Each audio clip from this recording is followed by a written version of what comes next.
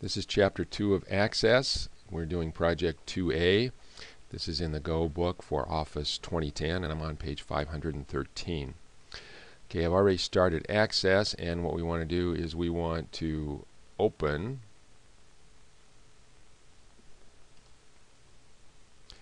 an existing database and we need to go find yeah, it's kind of slow here. Okay, um, go to OneDrive and go to Access and Chapter 2 and we want Instructors Courses. Going to open that up.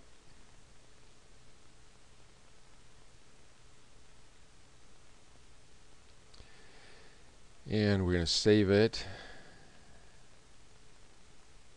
Make it basically we're making a copy of the database here and we're going to put our last name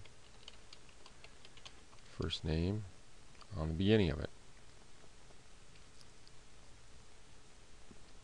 And now we're on activity 2.02 and um, we've already clicked enable content.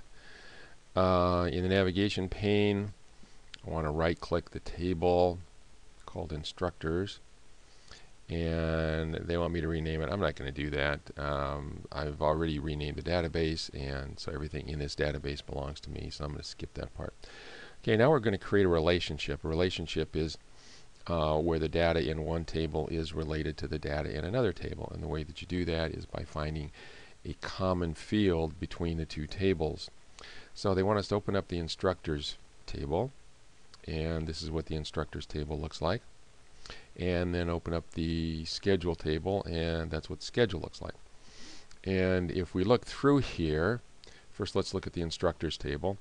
And you see we have a way of uniquely identifying each instructor uh, with an instructor ID.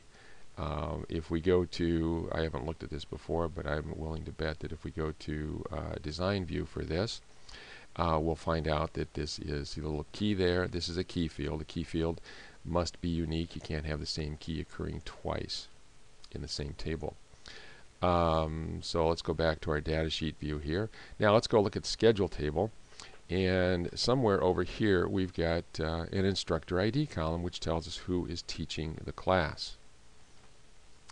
And this is the way that we join up the two tables. If I can find an instructor ID here and then go over here and find the same instructor ID, then I know who's teaching the class. And all I have to do is put the instructor ID here, uh, link it to this instructor ID over here. I think this is the number that we were looking at on that particular record. And now I know who's teaching the class. And I don't have to put all this other stuff in the schedule table. That way I only need one copy of it. Okay, so we want to close each table. So we're going to close them now. And uh, now that we know how to form a relationship between the two tables. And um, now what we want to do is we want to go to our Database Tools tab and click on the relationships and um, this is where you define how one table relates to another. And we're going to add the instructors table I'm going to add the schedule table and then we're going to close that. And it gives me a list of all the fields in each table. I'm going to make it long enough so I can see everything. It identifies the key field. And so each item in the schedule has a unique ID each instructor has a unique ID um, since an instructor can teach more than one class uh, it's not going to be unique over here and the way that we relate these two is we drag this to this. And we'll get this little relationships dialog box here.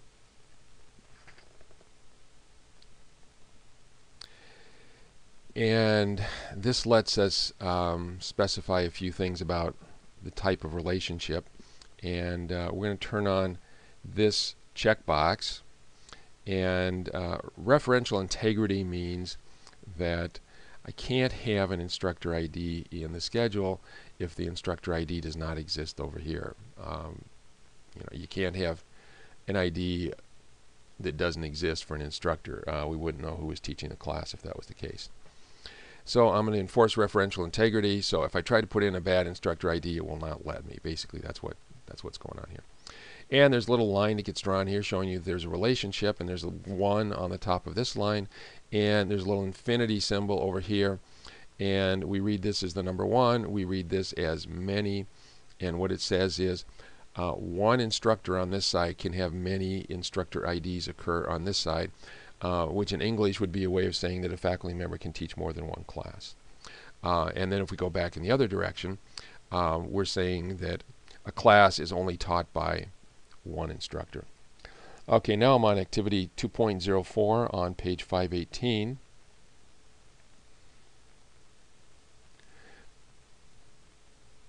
And we have an option here to create a relationship report. We'll click on it.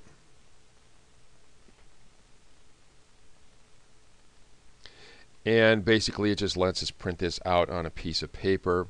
Uh, we've got some options up here, you know, typical things that you'd expect for printing stuff out. Um, and we're not going to be printing any things in this class, so uh, we're just going to close that print preview. Uh, they had you save the report. I'm not going to bother with saving the report. And uh, so we're going to close the report here. And no. And we're going to close the relationships window. And now we are on the top of page 519. Uh, I want to open the 2A instructors table. And now there's something there that we didn't see before. Uh, these plus signs were not here before. And the plus signs are there now because what we did was we linked the two tables together. We created a relationship between the two tables.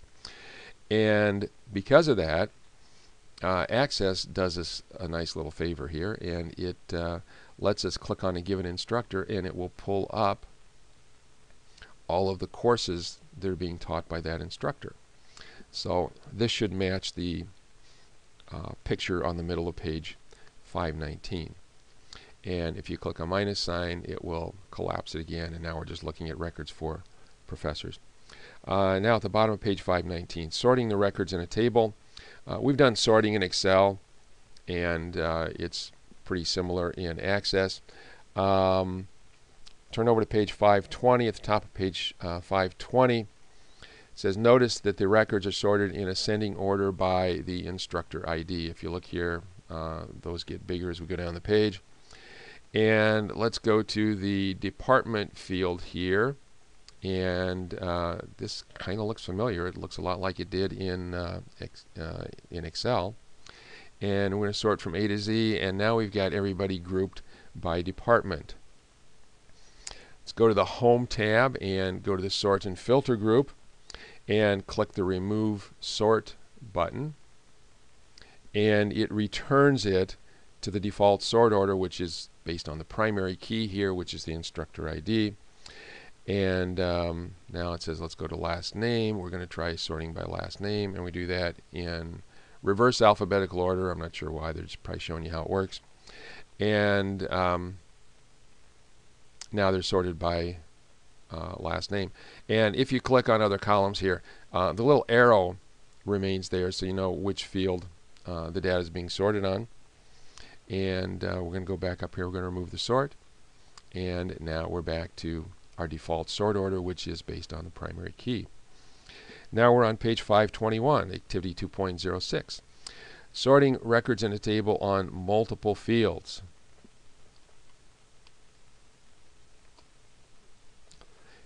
If you want to sort on multiple fields in Access, you do the same little trick that we did in Excel.